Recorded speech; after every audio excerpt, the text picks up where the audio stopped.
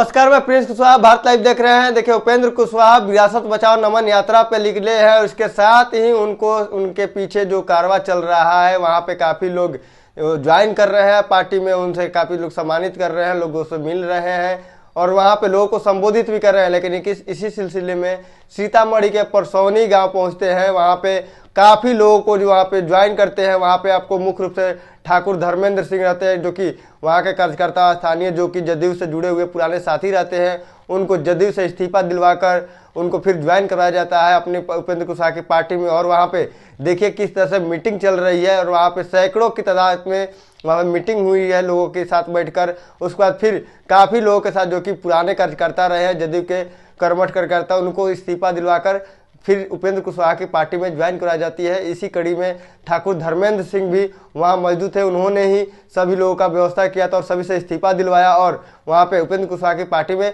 Join करवाई। पहले आप वीडियो देखिए किस तरह से लोग और कितने लोग हैं।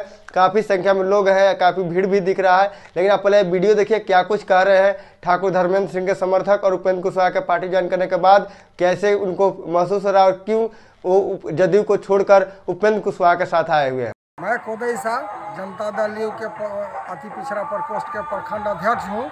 मैं त्याग पत्र दे करके जन उपेंद्र कुशवाहा के नेतृत्व में आता हूँ। मैं पूजा सिंह महिला प्रकोष्ठ प्रखंड अध्यक्ष जदयू के हूँ। अब जदयू का त्याग पत्र देकर उपेंद्र कुशवाहा जी के साथ है। मैं रामबाबू पटेल जदयू में पूर्व से कार्यरत रहा हूँ अब मैं उपेंद्र कुशवाहा जी के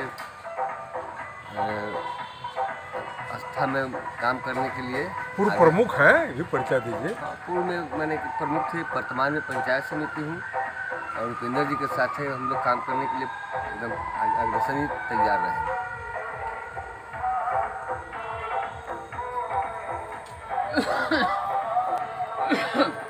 आपने देखा जिस तरह से लोगों का कहना था कि उपेंद्र कुशवाहा के साथ हम इसलिए आए हैं क्योंकि ज़मीन से जुड़े हुए हैं, लोगों में विश्वास रखते हैं और उनसे मिलने में बहुत आसानी होती है और लोगों की बात तो सुनते हैं और उसके साथ ही उन्होंने जदयू को लेकर उन तमाम तरह के लोगों ने कटाक्ष भी किया कि जदयू में अब कुछ बच नहीं गया है, जदयू में कुछ सुनने वाला नहीं है, न ही किसी बातों को लेकर वहाँ गंभीरता से बात की जाती है।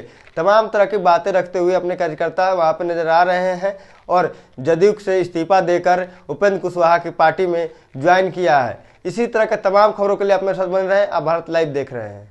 अगर ये वीडियो पसंद आई और वह बिहार के राजनीति और बिहारियत से सरोकार रखेनी तो सब्सक्राइब बटन दबा के चैनल के सब्सक्राइब कर ली। ओजे एगो घंटी बा।